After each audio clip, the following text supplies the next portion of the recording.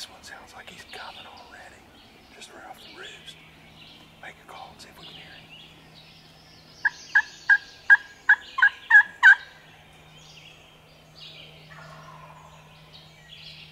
He's on the face of that hill.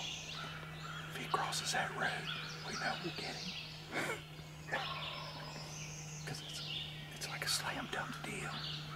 And he shouldn't be coming, but they do a lot. Cheer that pheasant? We've got another. There's two. but he might stand there. I killed one here one time that stood there on the face of that hill. And he'd every time a car came by. Eventually, there's a lot of traffic, early morning traffic here. About 8 o'clock after the traffic had slowed down, he came on across it. I shot him right here. With that old long tom.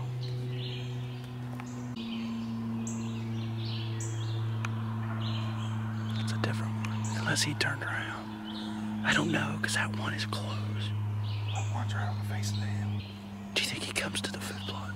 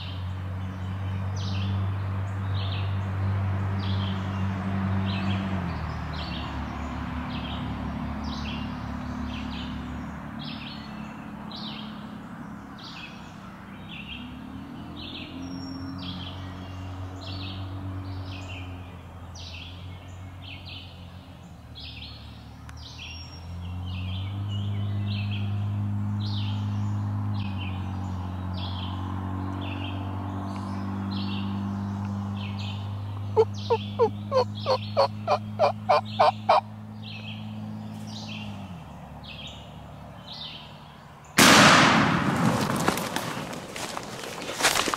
you kidding? Good job.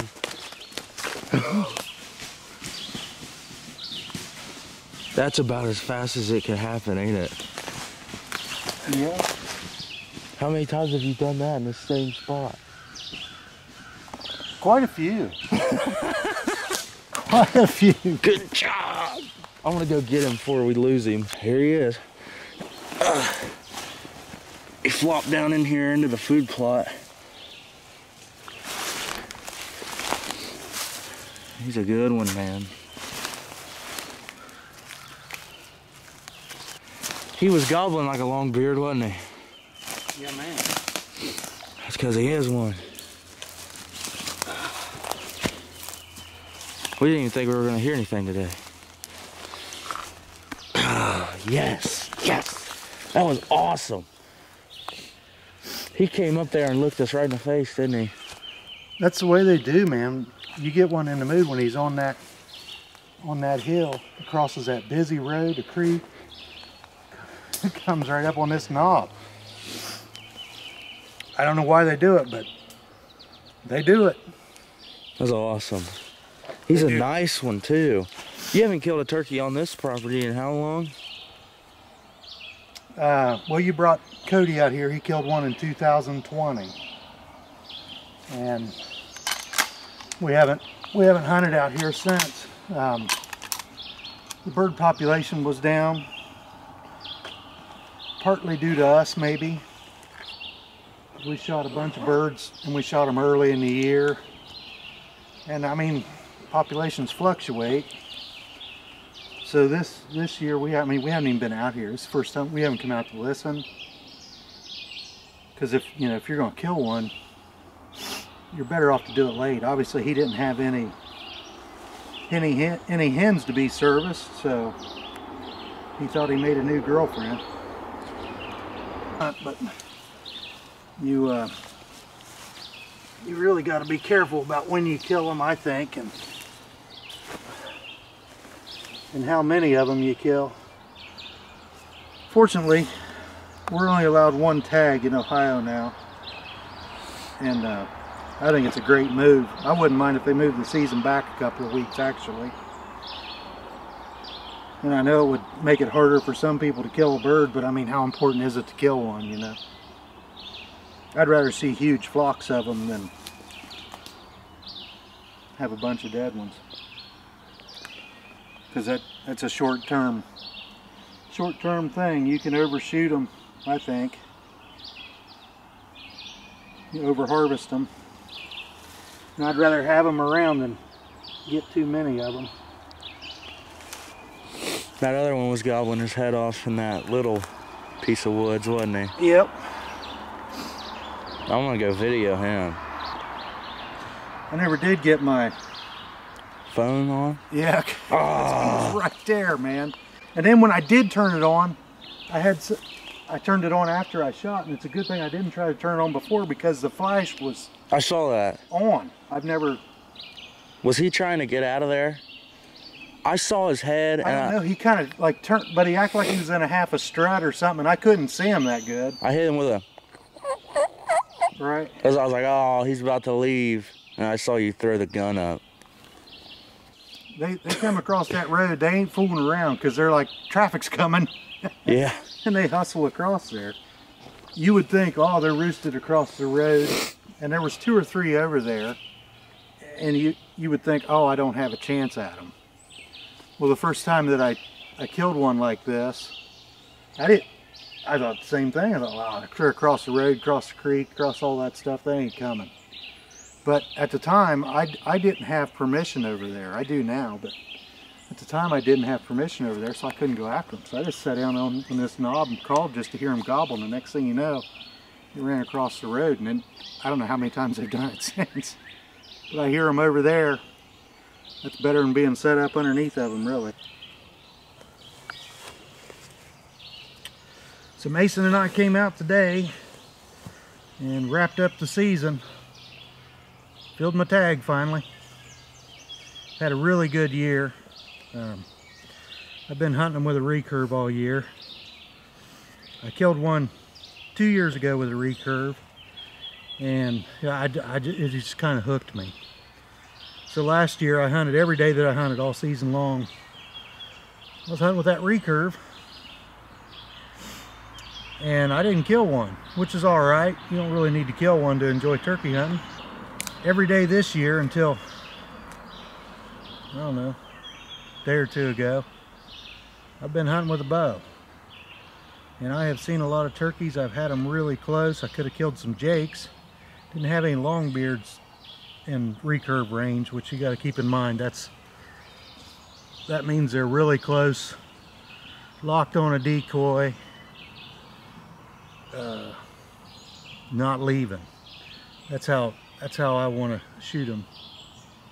And uh, they just they're not they go through phases and, the whole season longbeards have been with you know they've had their harems and they haven't wanted to haven't wanted to lock down on a decoy. Had one the other day until noon that bird stood out there 50 yards or so and gobbled hundreds and hundreds of times strutted. Got some cool video of him. Um, actually I think he, the neighbor shot him on a different property. I believe it was probably the same bird a day or two after that. The neighbor probably sat up there and listened to that bird gobble three or four hundred times that day. Drove him nuts because we weren't a couple hundred yards off the fence. I just heard another one. anyway, Mason and I got up this morning, came out here to our place. He's gobbling away. Came over here to our place. We bought this place a couple years ago and this is the farm Mason shot his first turkey on, his first buck on. We've got a lot of a lot of good memories here. Turkey population's been down. We haven't we haven't turkey hunted out here in a long time. And uh, just kind of on a whim, we came out here today. We haven't been out here to listen. Um, haven't, haven't been out here at all. And there was in 2020, last last bird we shot out here, there was quite a few birds around then, but it really still wasn't quite back to the good old days. So today we came out and it was sounded like it was pretty much back to the good old days. There was two or three gobbling across the road, two back over here gobbling. Um, just a great morning. Heard pheasants cackling, geese squawking, turkeys gobbling. Didn't hear any quail, but I'm sure they were squawking too. And uh, these these birds were roosted across the road, across the creek, across the nasty thicket.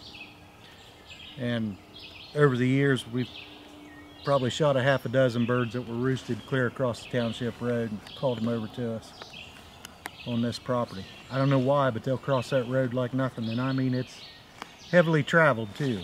Lots and lots of cars going to work up and down that road every morning when these birds get, uh, when they're in the right mood and they time it up, they don't hear any cars coming, they come running across up this knob where Brock and Mason's waiting on them. it's almost unfair. He did the same exact thing many of his ancestors have done and that puts him in the crock pot. He's a beautiful bird, beautiful morning. Enjoyed being out here with my son. We don't get a hunt together as much as we used to because he's a busy boy, you know, school and everything.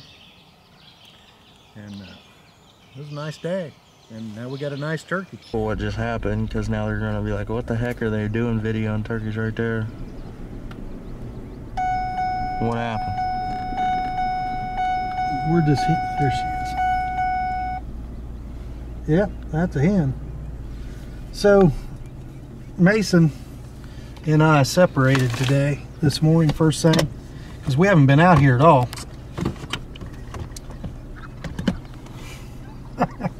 so he came over to this side of the farm to listen here to this this end and he dropped me off over there. It's a it's a long long distance between the two places and you can't hear both sides. So we wanted to split up and see see where the birds were well, we had one over there in kind of a magic spot where you make a call, they run across the road and you shoot them. So Mason came on over, but there was birds gobbling over here somewhere. Well, we stopped.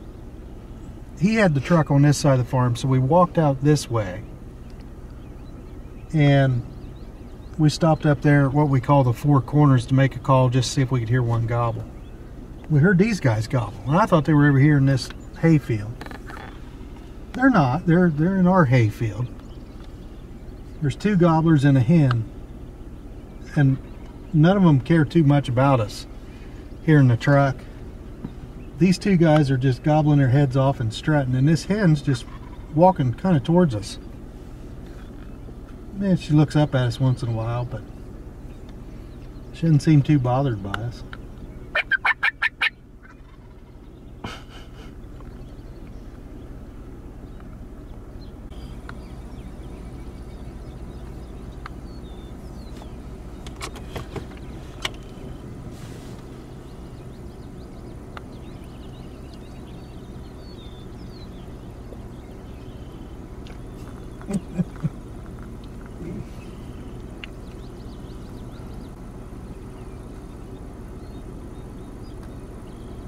That back's got some hooks, man. Oh my goodness, has he got hooks. He did the same exact thing many of his ancestors have done, and that puts him in the crock pot.